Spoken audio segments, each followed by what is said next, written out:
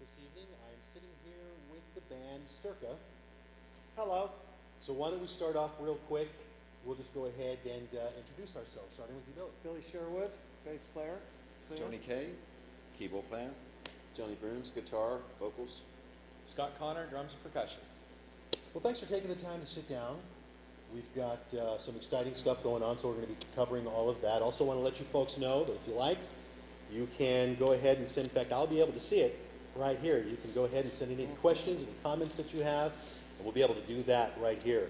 Uh, so we're going to have a lot of fun tonight. We'll be here for a little while, but our our uh, our main purpose for being here is going to be to talk about this event that we have going on tomorrow. But before we do that, real quick, how about just a quick, a quick brief history of the band Circa? Uh, thank you. Take it away. In a, around 2006, uh, I was working on tribute records and was remaking some Pink Floyd stuff, and I called Tony to play on a record, and he was actually retired at that point and playing tennis, is what he told me. and I said, "Well, you, today you're going to play keys," and he said, "No." I said, "Yeah, come on over." So we ended up working. But he did say Pink Floyd. so that was the calling card. That was the calling card. And so we did that session, had a lot of fun hanging out. We always remained friends from the old Yes days and whatnot. And um, decided to start working on new music and, and start trying to form a new thing. And those songs became the, the birth and the genesis of the first Circa. And as those songs developed, we got my friend Jimmy Haun, who was in previous bands with me, in Lodgic and The Key and Conspiracy, played with us for a while. And, and of course, we um, contacted Alan, who I was working with a ton then, doing tribute records and hiring him a lot. So that was the first formation of Circa. And then um, as time evolved, when the second record came around, um, Alan had to kind of go back to Yes full time to do this new Yes thing that they're doing. Right. And so we went forward and brought Jay Schellen in to play drums, and that was the second, you know, version of Circa was with Jay. And then we kind of took a little trip into Yoso land for a while where we were dabbling with a new little band thing. And then uh, out there on the road, Tony and I knew, you know, we're, we're still doing Circa, so let's talk about what the next Circa is going to be. And we were out there with these two guys who we'd kind of found and hired to come with us as hired guns on the Yoso thing. Right. And that turned into a relationship that was, you know, kind of obvious that we needed to stay in contact with. And so when the next Circa thing was being talked about on the road, Tony and I immediately thought, well, what about these two guys? And so that became the, the, the new platform to go from. So your retirement didn't last very long before Billy called and messed it all up. No, no, it, uh, just a few years. All right. Well, now tomorrow we've got uh, a pretty unique event going on uh, as far as this band and, and things that are happening here.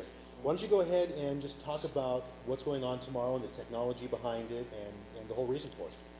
Well, um, it, it kind of started by accident, the concept. Uh, Tony and I were doing this two-man show that we did a benefit kind of tour in Japan not too long ago.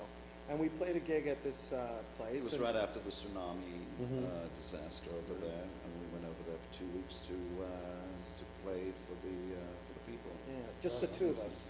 And, and we had a little show that we do with, you know, uh, I've got backing tracks that I recorded and Right. and we go out and play a bunch of music. Anyway, long story short, there, one of these clubs was streaming, using Ustream, and told us both, when you go back to your hotel, just, you know, put on Facebook that you're streaming the concert.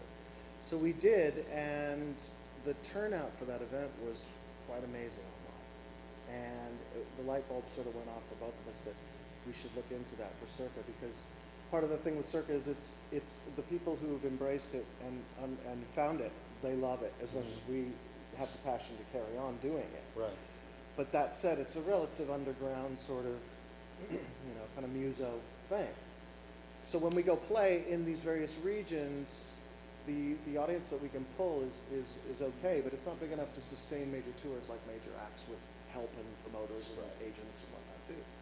So we decided to go this route where we could actually tap into all those regions where we have these footholds and combine forces globally. And, you know, I, I kind of felt bad when people kept saying, you know, well, when are you coming to Florida? When are you coming to uh, Gambia? This guy said. I said, well, I doubt anytime soon, to be honest with you.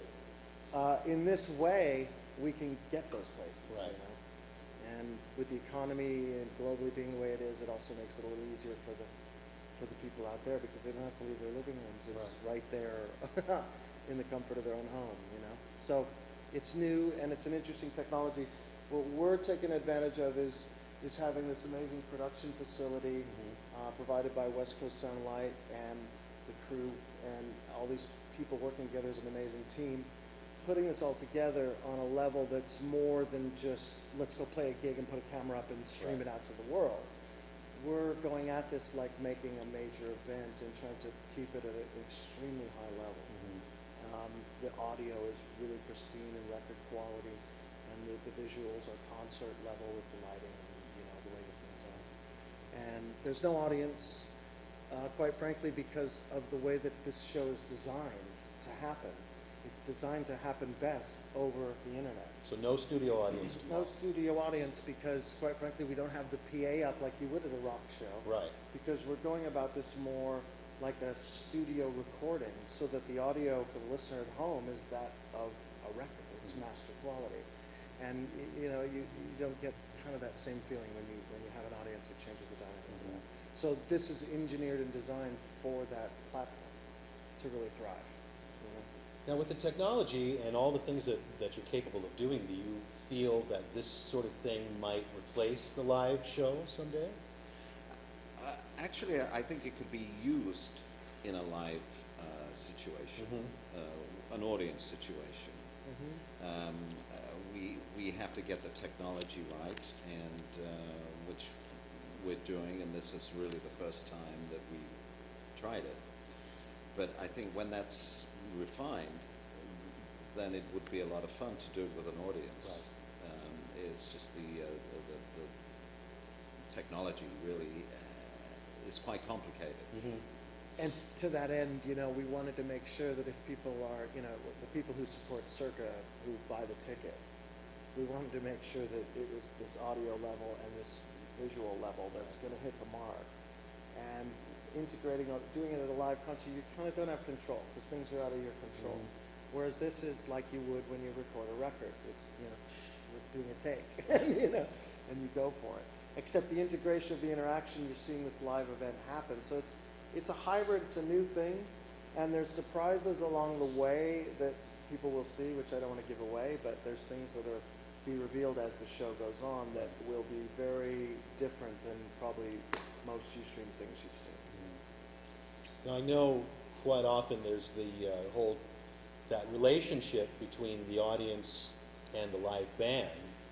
Uh, is you have, I'm assuming then, do you have to sort of change the way you're thinking, your mode, What there's no, you have to think about them. We actually pretend that they're there. That's just that they're there. It's, it's kind of like being online when you're punching in online and somebody IMs you and you're Right. chatting with them. Uh, that's done through the camera. Right, Just that the camera becomes your keyboard and you- Just a new you're way. communicating that way. of communicating to the audience. We, we know they're there, so we get the Yeah. energy. And we know it- who you are too. and it's not that it's going to replace the whole live experience of Circa playing live and getting out there and doing tours, but you know, in the in the place where we are and the world is right now, this seemed like the most logical path to get the movement out there into every corner of the world, or you know, everywhere there's an internet connection. Right. You know, Uh, it answers the question. That's what I've been posting on my Facebook page. For anyone who asks the question, when are we coming to your town? We'll virtually be there on December 31st. Right, So, you know, right. we'll be in everyone's town. So Okay. it's kind of cool. So then what is in the future then? Now, we've got the show tomorrow.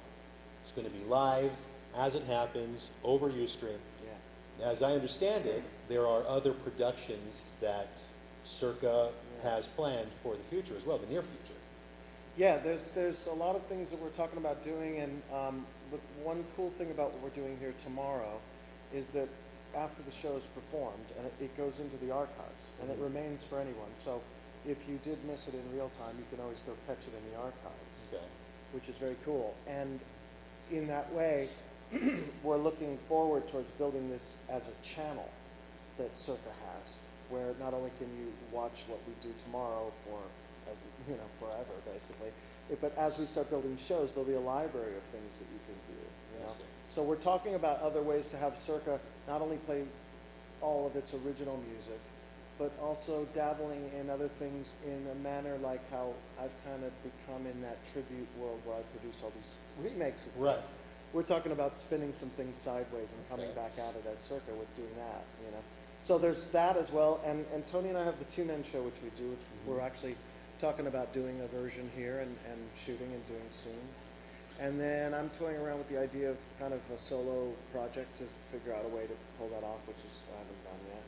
And then there's other things that, that will uh, sure sure come up by proxy. You know, there's there's it's pretty open ended. It's really Right. up to the creative imagination of what you want to come up. Also, we, the possibility of, of presenting other bands. That too. Mhm. Yeah. um, who we like and who we can help by presenting them in this environment. Yeah. So yeah, it's an instant global presentation. It is, and, and as long as, for me, as long as the quality is there on the audio level and the video level, I'm happy to participate. 'Cause, Because especially this type of Yeah. music, there's an expectation from the fans. Yeah, you'll, it's, they'll, you know, hang you upside down by your socks if it's not rocking. But we know? don't have the luxury of going into uh, post-production, Right, that's right. You uh, which is the normal. But I, I, I kind of know, you know, what their expectation is is also ours. You know, of what like if we were to watch something like that, we would be wanting to see it at that certain level, and so you know that's what you're always shooting for is that higher plane and that higher level. And I think that that people will be very surprised tomorrow when they tune in. Now, the fans are wanting to know, just as far as the band goes, for Circa, about new album, new music, what's going on for Yeah. Circa. Uh, you know, always thinking about new music, and you know, we just came out with the And So On record, which is fairly new, and we're playing a lot of that music in this set tomorrow night. And obviously, talking about doing more live productions, which takes time and concentration away from maybe working on a new record. But at some point, we're going to be moving into working on new music, as it always happens Right. by you know jamming together and that idea is cool mark it down and then you start putting things together and you know these guys have a lot of great ideas to bring to the table and and so the next album will just keep an evolution of the band and, and moving forward you know Okay. i may play a tuba on it just to break it Oh. up and see what happens We're thinking maybe Electric too of, of presenting um, our past albums in their entirety Ah. too, which uh, Yeah. which would be kind of cool to Yeah, uh, to cool. because you you know you pick songs from now we have three albums that uh, and um, uh, other songs that we've never played but Right. uh, that were actually outtakes from the albums that yeah we did on overflow on, on an album called Overflow, Okay. which is on iTunes. Right. yeah. Um, tracks we've never played live before, so it will give us an opportunity to keep, you know, presenting uh, new music. Mhm. yeah Yeah, it's a Well, old music. form for it, too. with interesting production. You know, that's Right. that's the cool thing about having, you know, being able to do it in a place like this, which people will see tomorrow the full content of. I didn't want to give anything away tonight, Right. but uh, it's quite amazing because you have a great palette to create this amazing show, where normally you might not. You know, you have a few lights and a few Mhm. bells and whistles, but with this we have so much that you know we, we, we could never end messing around with this in Right. different formats. So. Right. And you know, unfortunately for the people here at West Coast Sound and Lights, they have me to deal with as I come in, going, "Well, wait, what about it over here?" and this and that. But at the end of the day, you know, if it's rocking and it looks good, that's that's the point. That it, for me, it's about the art first. That's what it's all about, making some cool art, and it's a new way to make art. You know, used to make records, now we're making live UStream concerts. Right. So it's just another extension of the art form. You know. Yeah. It's very cool. But it's it's interesting to be able to play in a team with other components that bring it all to bear, and that's Mhm. that's a different thing, and it's it's working very well. Excellent. We're also getting into, um, especially Billy, uh, and I'm obviously interested in, in the video aspect Mhm. of uh, presenting things on uh, on the internet, which we're starting to incorporate in this kind of show. Right. Yeah. That will be something to uh, experiment with in Yeah. the future. So this is really the start of something that could, I mean, it's, this is a, an amazing adventure that, that you guys are kind of starting. I mean, Yeah. People I- have been streaming things before, but this is something kind of different. It is in many ways uh, just from where the mindset of how to do it is, Mhm. you know, and I guess that's what it really comes down to because it's all about the content and how it's presented. And, you know, you can hand three different musicians the same kind of gear and you're going to come up with three different things. So, this formula, uh, like I said earlier, of the team and how it can come up with things makes it unique, different, and of a really high quality. And I think that's what's going to have people trusting you to come back again. Right. You know, as opposed to wow, it was glitchy, the audio was funky, and the picture looked pixelated. If all those you're not thinking about any of that, it's just an amazing experience. And now people, you know, and I don't know about this because I'm not in that techie part of it, but they're locking it up with their iPads to their TVs, and it's like you know now they're Oh, on yeah. six. I've got people telling me, you know, I can't wait till it starts. The speakers are ready, and Yeah. you know, so it, they're not just viewing it on their computer. It's it's extending into their living rooms, and mm. there's people having parties, getting together, and you know, buying the ticket, and ten people are partying in the living room with us. So it's it's a cool experience. I don't, you know, as as, as there's people who kind of say, well, I miss the contact and everything, but at the same time, this is a new thing. Mm-hmm. You know what I mean? I mean. If you were to talk to people about, well, you're on Facebook every day for most of your afternoon, do you miss the human contact or do you go out to seek it out? Right. They don't. They sit there. so it's just a new thing, you know. It's interesting. Okay, so what time does the show start tomorrow? Six o'clock our time, California, Okay. right? So nine o'clock Eastern, and depending on where you are in Europe, one or two, Two o'clock. right? Two, two or three o'clock in uh-huh. Europe, and in And it- Australia, it will be It'll be next, at next. Wednesday. uh, and, and obviously, we have this Ustream chat channel thing going. So as you're watching it, you can chat with people who are online and watching, and other people and whatnot, and you know, ask questions and whatnot. And Roman will be hosting to will take be those here. questions, and we'll be kind of interacting along the way in ways that I don't want to give away, but it'll be very cool. And uh, six o'clock, and then once the show's finished, it goes into the archives. Right. So anyone who watches the show and says, "Oh my goodness, that was amazing! I got to support these guys," can then take that flag and go run with it. And people who said, "Oh, sorry, I missed it," but, well, they can go watch it. I'll you still know? be able to see. Yeah. So Excellent. So big New Year's Eve show tomorrow, right here, right where you are now. Just come back. Mm-hmm. We'll be here. We'll start things off. It's going to be great, guys. Thanks a lot. the show's two and a half hours of music So get comfortable. Plus Roman's integration. We've got a long way to go. So Right. kick back and you know Right. it'll be fun. All right. All We'll see you tomorrow. See you tomorrow. Thank you.